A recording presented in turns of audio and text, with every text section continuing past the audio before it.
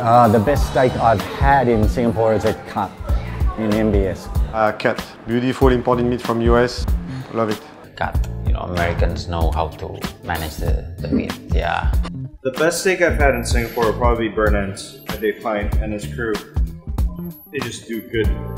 Best steak that I had, um, Lawry's. I love that combination of the, the very traditional English sort of steak uh, with Yorkshire pudding, cream cheese, and that perfectly pink uh, ribeye that just sits on your plate. Yeah. Best steak, I like uh, Wolfgang Puck, I like cut. Yeah, I suppose best steak in uh, Singapore will hands down have to be cut. Not cheap, but worth every penny.